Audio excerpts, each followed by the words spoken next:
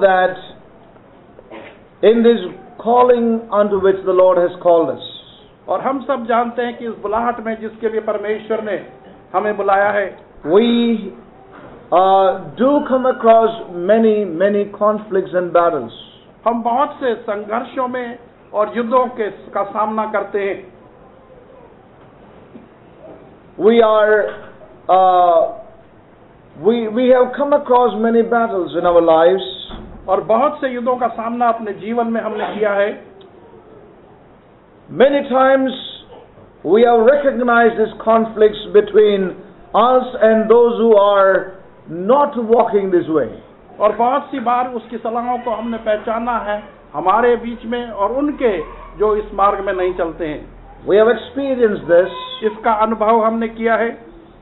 This conflict between us and those who do not walk this way Uh, those who do not know the Lord uh, and those who are not familiar with this way of the Lord in their lives.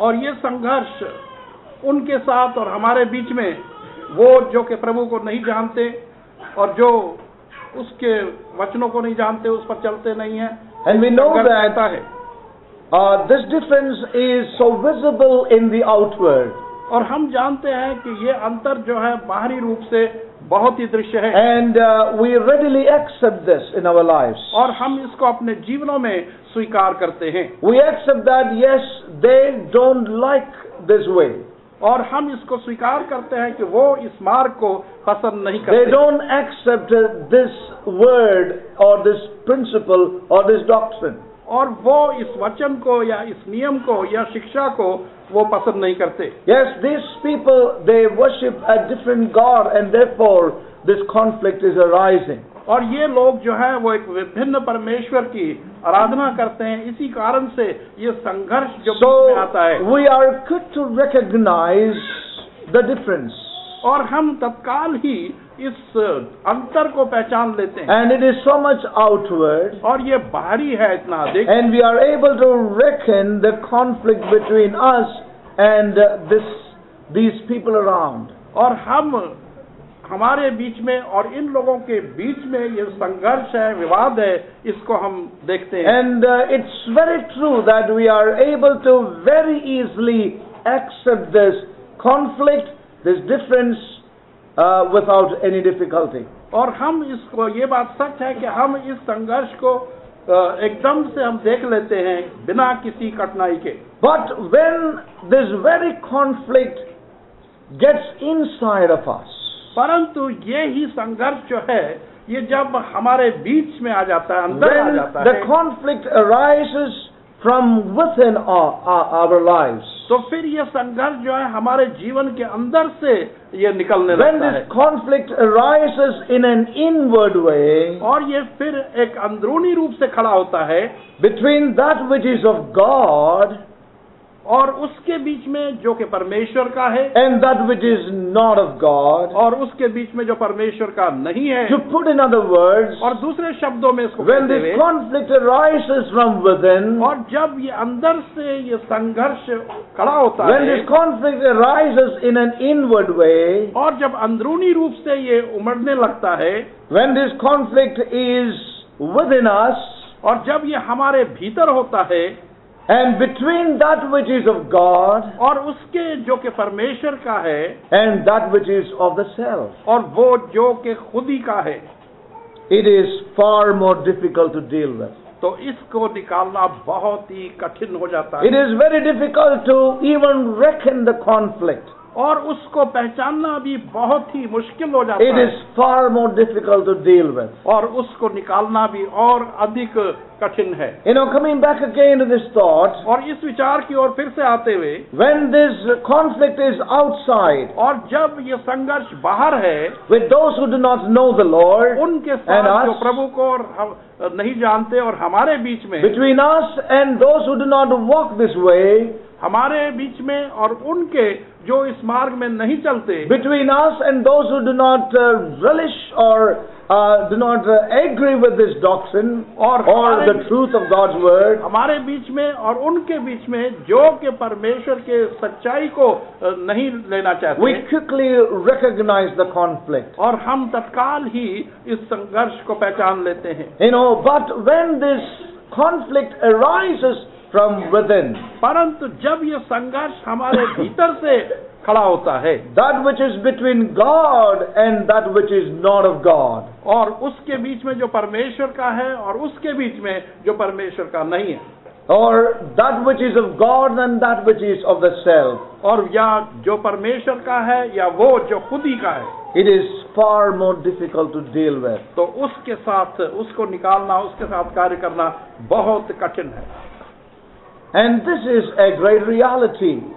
और ये That we बहुत need to बड़ी reckon. वास्तविकता है जिसको हमने देखना है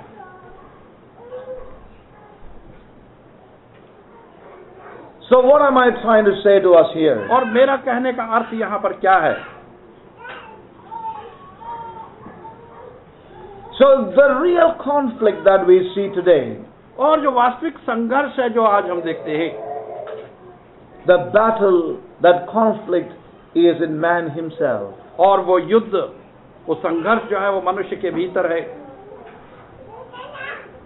You know, other battles, it's easy to reckon and easy to uh, perceive and understand. और दूसरे संघर्ष जो है युद्ध है उनको आसानी से देखा जा सकता है और उसको समझा जा सकता है But the point is this, परंतु यहाँ पर बिंदु ये है that realm वो वातावरण of this battle is in man himself इस संघर्ष या युद्ध का वो उसके वातावरण उस मनुष्य के भीतर है। That is where the battle really rages most fiercely और वहीं पर वो युद्ध जो है बहुत तीव्र हो जाता है। And when this battle rise within us और जब ये युद्ध हमारे भीतर से उठता है it is very difficult for us to reckon and accept it. और उसको पहचानना और उसको स्वीकार करना हमारे लिए बहुत कठिन हो है। most of the time, क्योंकि अधिकतर do में not understand it. हम उसे समझते नहीं हैं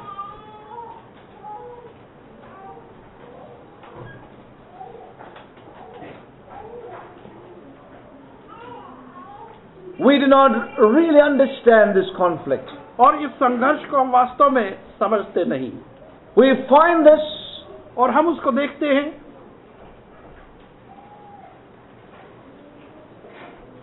and we do not reckon that this is between that which is of God and that which is not of God. और इस बात को हम समझ नहीं पाते हैं कि ये उसके बीच में है ये संघर्ष जो परमेश्वर का जो परमेश्वर का नहीं है इन दो चीज़ों के बीच है But if you would be uh, sincere and earnest in the Lord, परंतु या यदि आप प्रभु में सच्चे होंगे and you are serious with this, this life in Christ, और आप बड़े गंभीर हैं इस जीवन के विषय में जो मसीह का है then you will reckon one thing. तो तब आप एक चीज़ को देख पाएँगे This conflict has been precipitated by the presence of Christ Himself in us.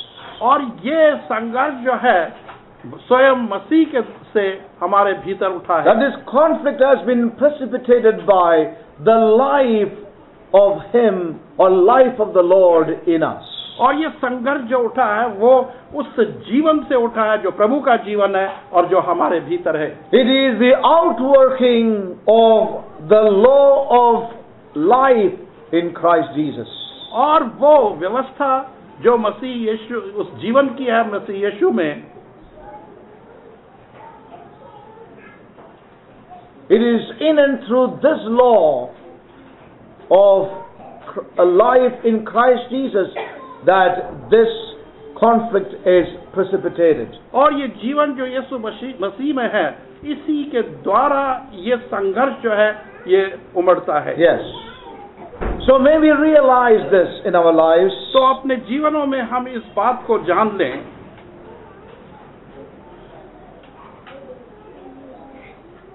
In one way, it is comforting to know that this conflict is precipitated by the presence of this life in us.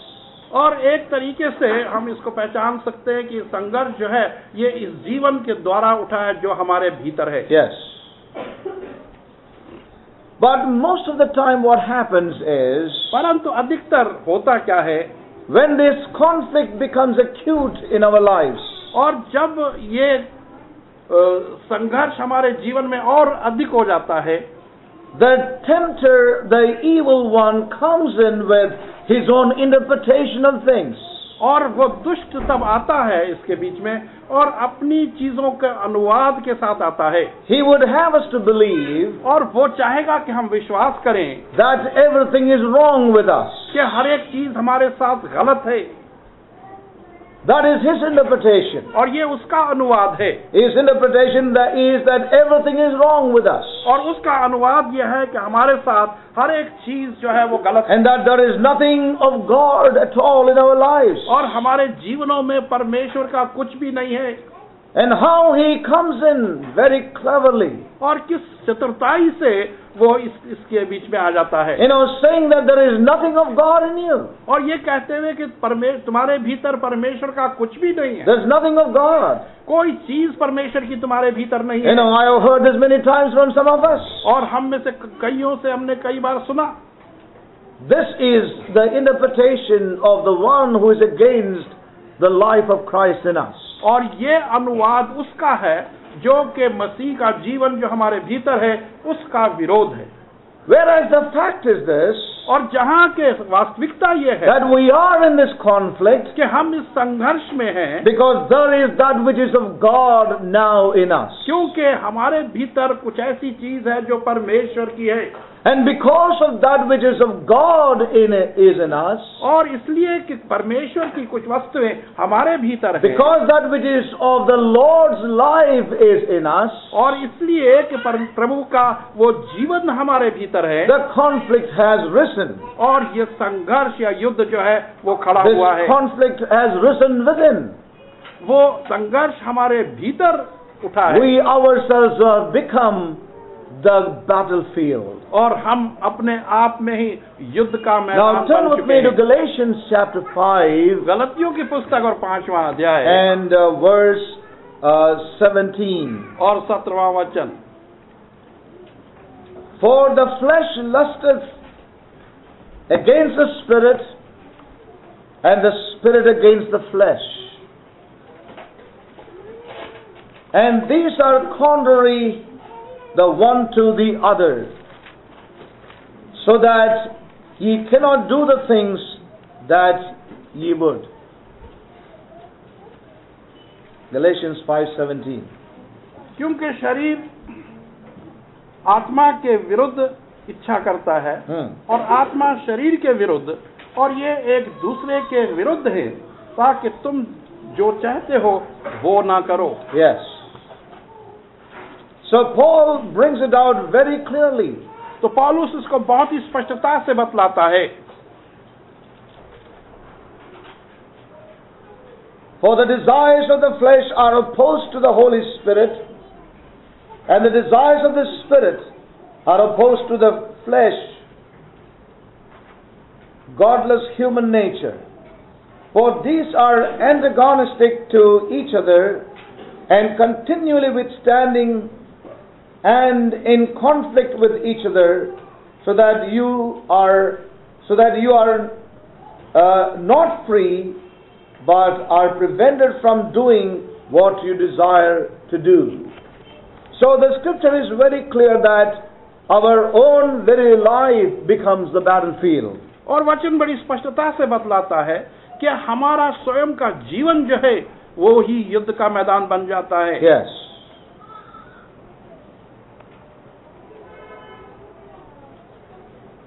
Our very life becomes the battlefield. और हमारा स्वयं का जीवन युद्ध का मैदान बन जाता है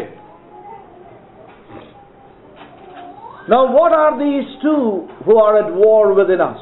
और ये दो चीज़ें क्या हैं जो कि हमारे भीतर इस युद्ध में सम्मिलित हैं And we know it's very elementary.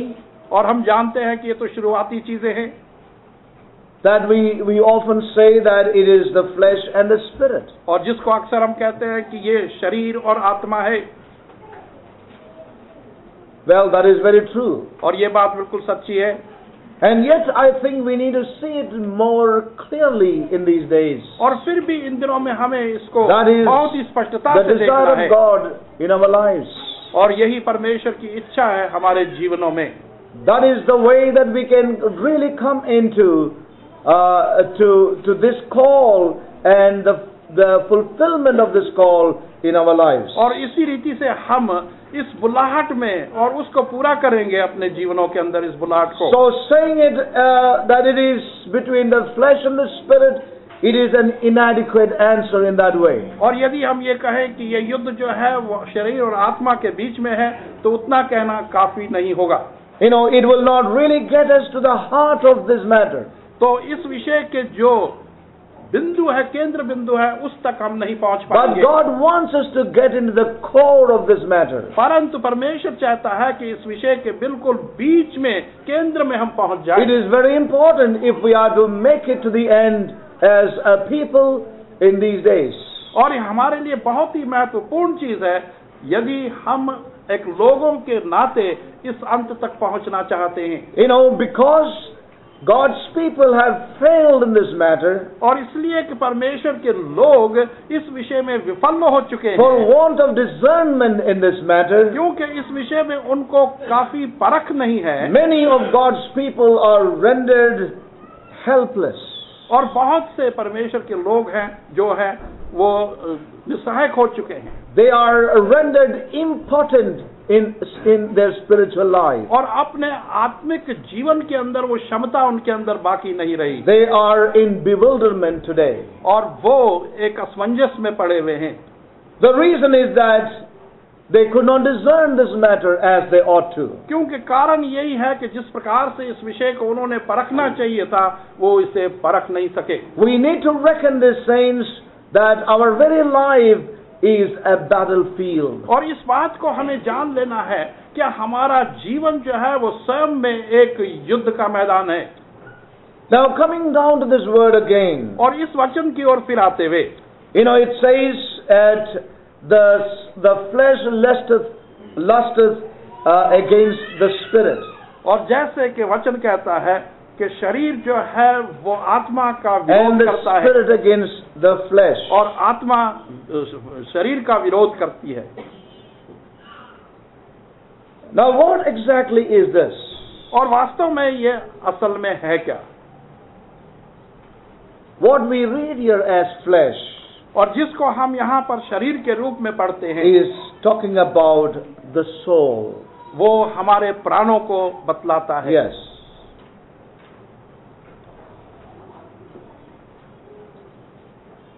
Many times when we talk about this, और बहुत सी बार जब हम इसकी चर्चा करते हैं many times people talk about the soul and refer it to the, the old Adam.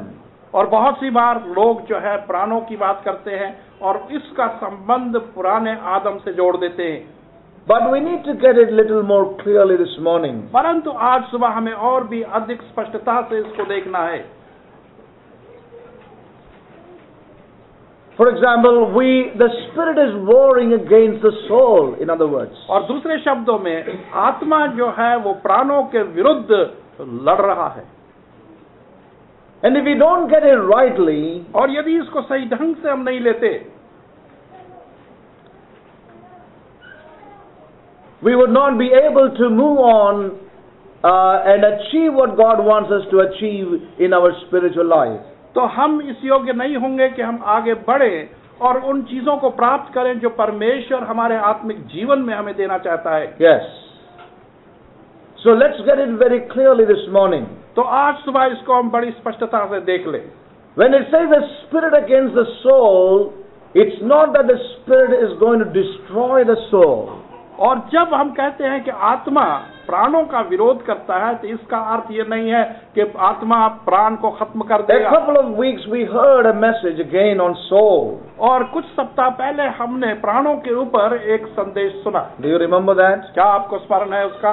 Yes no for God brother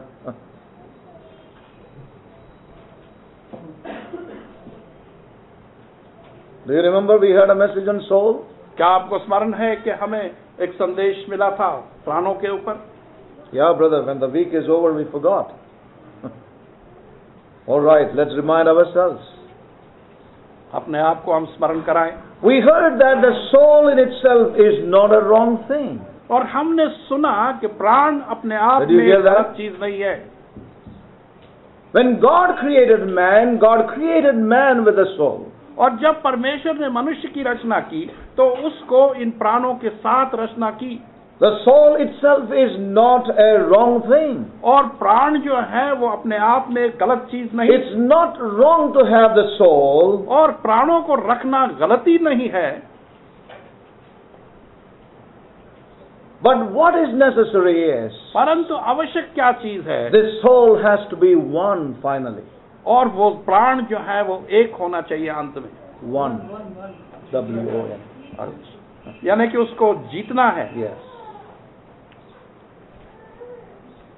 so if the spirit is working against the soul और यदि आत्मा जो है वो प्राणों के विरुद्ध कार्य करता है। It mean it is it is to finally destroy the soul और उसका अर्थ ये नहीं है कि प्राणों को बर्बाद कर देने की This बात है। We must get to really understand और ये कुछ ऐसी चीज़ है जिसको हमने फिर से समझना है। The spirit warring against the soul, और आत्मा जो है वो प्राणों के विरुद्ध लड़ it रहा is है not to destroy that soul, और इसलिए नहीं कि उस प्राणों का नाश but कर to they win that soul. परंतु उसको जीत ले And what is that? We will see later on. और वो क्या चीज़ है उसको हम But बाद में let's just देखेंगे understand that for today. परंतु इतना आज के लिए हम समझ ले That soul has to be one. और कि प्राण जो है उनको So we जीतना है। read in Luke